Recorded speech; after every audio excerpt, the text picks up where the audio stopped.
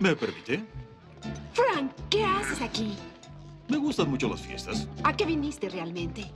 Lo puedo resumir en tres palabras. Quentin Habsburg. No me gustó desde el primer momento que lo vi.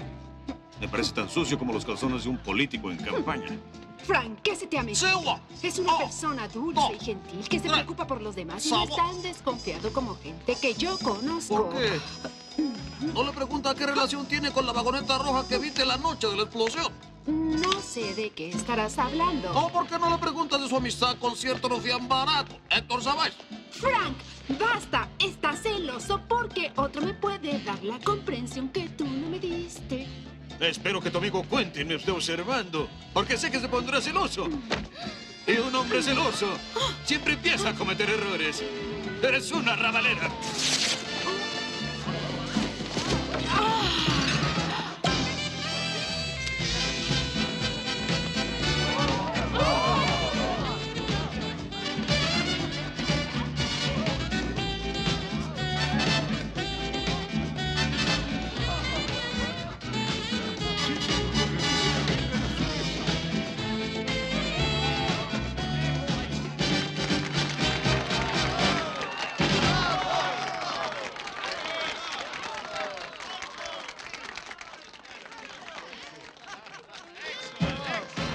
El señor Habsburg quiere que vayan a su mesa.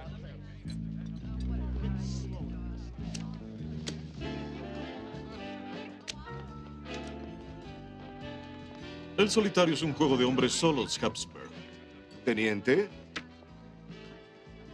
No recuerdo haber visto su nombre en la lista de invitados. Eso no debe preocuparle. Algunas veces uso mi nombre de soltero. Linda fiesta, Habsburg. Reconozco muchos maquillajes. ¿Le gusta el juego, teniente? Siempre que sea de prendas. ¿Qué será? Será. Hablará francés, ¿verdad? Por desgracia, no. Pero beso a la francesa. Perdone, pero está usted ocupando mi lugar. Doctor Mannheimer, ¿recuerda usted a Frank? Ah, oh, sí, el señor... Eh, Devrin, del escuadrón de policía, lo conoció en el instituto.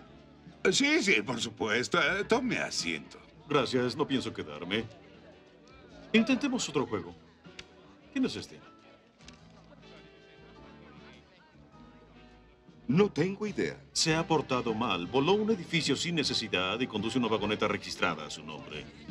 Tenemos muchas vagonetas. Una de ellas fue robada hace tres días. Mire, teniente, no tengo nada que esconder.